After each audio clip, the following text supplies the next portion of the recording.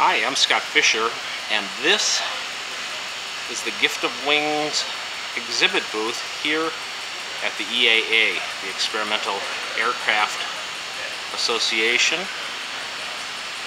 And this event will be going on July 26th through August 1st up here in Oshkosh, Wisconsin. This is our 31st year here at EAA. As you can see, we don't really sell any kites here, uh, mostly aviation products. And of course, the highlight of the show is our hand-carved wood model airplanes.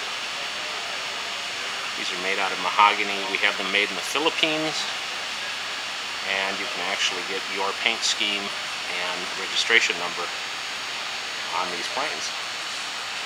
So Gift of Wings here at the Experimental Aircraft EAA AirVenture Air Show coming up July 26th through August 1st. For more information, contact Scott Fisher. That's me at 414-305-3145 or giftofwings.com.